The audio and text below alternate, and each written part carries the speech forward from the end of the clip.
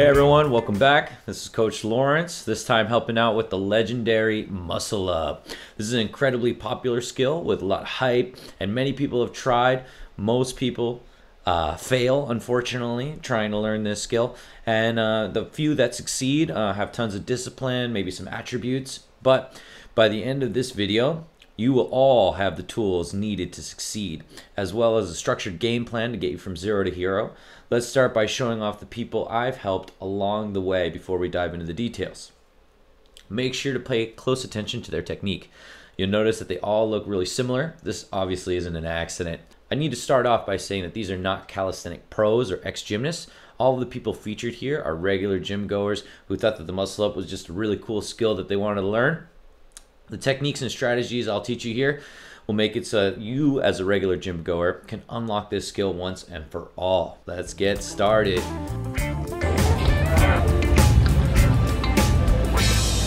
Nice, come on. First, let's talk a bit about the composition of the muscle up. A muscle up can be broken down into three parts the high pull up, the transition, and the dip.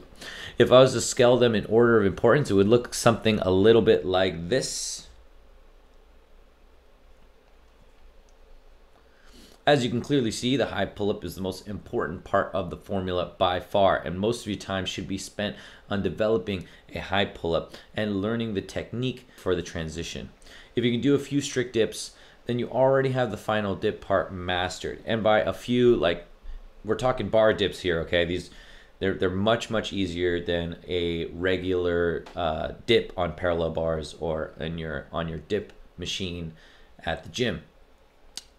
But how do you generate a high powerful pull-up? If you could already do one, you probably wouldn't need this video since the tutorials on YouTube are just basic technique plugins for people with strong pull-ups. Let's assume your starting point is around five regular pull-ups in a row.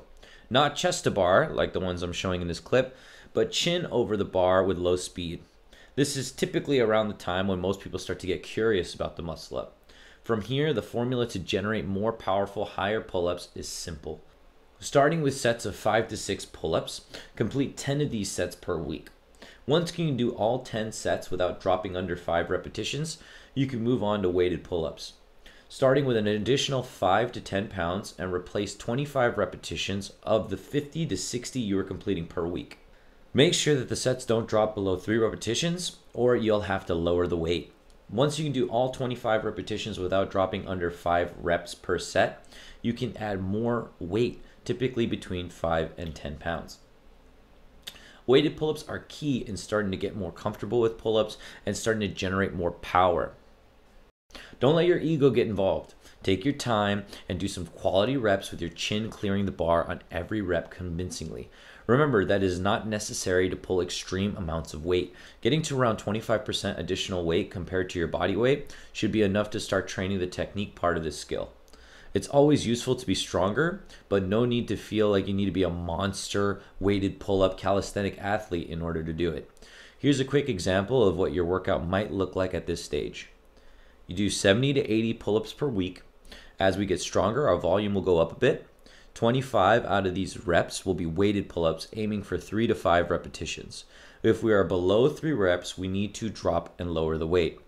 Once we can pull about 25% additional body weight, replace 25 of our regular pull ups with high explosive pull ups, where we work on getting our chest higher than the bar.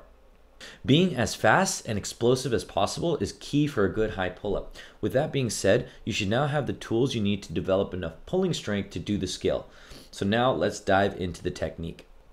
There are only three technical parts to consider the swing, the high pull up, and the transition. Starting with the swing. Start with a bar that you can comfortably reach from the floor without jumping. If you need to jump to the bar, I'll go over that at the end of this section. From this point, grab the bar and step out with one foot, moving your toes, hips, and shoulders in front of the bar. Then close both feet together, completing the forward swing. It's important to lead with the toes and make sure your entire body is in front of the bar in a straight line. Once your body begins to move backwards, you can initiate the high pull up. It's important to wait until your body is moving backwards. Pulling too early won't give you enough space to do the transition later. Here's what it looks like on a bar that's a bit too high to start from the floor. Jump to the bar, ensuring that your shoulders, hips, and toes are behind the bar. Do not jump forward. Stay behind the bar in a straight line with your whole body. From there, simply swing forward into the same position mentioned in the previous section. Straight line in front of the bar, toes, hips, shoulders in front. For the high pull up, simply pull down on the bar and do a normal high pull up as fast as you can. It's the same as the ones we've been working on from our workouts from weighted pull ups and high pull ups throughout the week. Pull straight down. It's important to apply pressure on the bar straight down towards the floor your body will move back behind the bar automatically, assuming you did the swing part correctly. Last is the transition. For this part, we can start with some drills to help understand the movement before just chucking ourselves over the bar. Start on a low bar or on a block or chair to jump you up on top of the bar. When jumping onto the bar, apply pressure on the bar down and back towards you. It's important to apply continuous pressure throughout the muscle up. While applying pressure down and back, lean forward with your head and shoulders at the same time. Then try to perform a negative of the movement by dipping down and returning to the front swing we learned in step one. If you can do this successfully, it will unlock continuous muscle ups in the future. To help emphasize the transition motion, tie a resistance band to a high bar. Then start with your elbows bent at 90 degrees. From there, press the band down and back towards you while leaning forward with your head and shoulders. Doing this seamlessly is key to mastering this technical part of the muscle up. Feel free to do a lot of repetitions of this as it's not very strenuous or very difficult, but helpful in getting the movement down to muscle memory. With that down, let's talk a bit about strengthening our shoulders and triceps for the transition. The best exercise I found for this was the tiger bend. The tiger bend is a variation of a push up where you dip down, then at the bottom of the push up, you move back to place your elbows on the floor. From there, you do the same movement as the muscle up transition, where you apply pressure on the floor, down and back towards you, to return to the bottom of the push up. Then you complete the press up. You don't need a ton of strength to transition, but this is a good warm up and strengthening tool for people starting at zero muscle up experience. Now we can put it all together. Step out forward and perform your initial swing. Straight line in front of the bar. Once you start moving backwards, initiate the high pull up. Apply pressure on the bar downwards as fast as you can, and from there, continue that downward pressure and apply more pressure moving back towards you as well.